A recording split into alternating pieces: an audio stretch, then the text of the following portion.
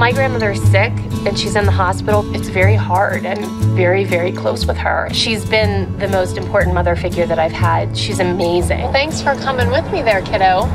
No problem. When I was a little girl, I dreamt of taking dance lessons and I lived with my grandparents. I moved back and forth on and off and I really want Chloe to go see the house where I grew up in, where I, I danced on the lawn and I dreamed of having a life like she does. I'm excited to bring you here. This is the base. Yeah, my house is right here, but that's not what my house looked like. I used to make Jody, my little sister, do recitals in the front yard all the time. We used to go like this. Wait, you ready? Come in. And I used to go, I'm gonna spin you out and spin you back in. my poor sister. And then I used to try to do this crazy lift or jump up. You ready? oh, we almost got it! You're showing the neighborhood my Spanx. Go ahead, get in the car.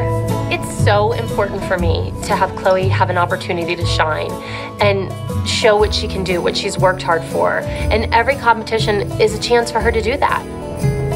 Although I didn't have all those same opportunities that Chloe had, my grandparents were able to give me something that my mother didn't, and that was unconditional love.